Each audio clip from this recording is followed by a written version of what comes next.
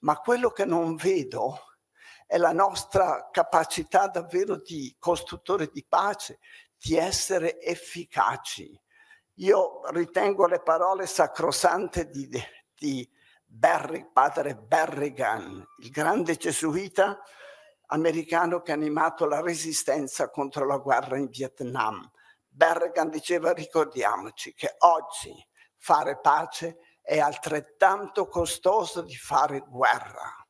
Dobbiamo avere il coraggio davvero di, di, incominciare a capirlo questo e fare quello che fanno, fa in questo momento ultima generazione, Extinction Rebellion, andare in prigione. Non c'è, dobbiamo abituarci alla disobbedienza civile perché altrimenti davvero andiamo alla morte, alla catastrofe.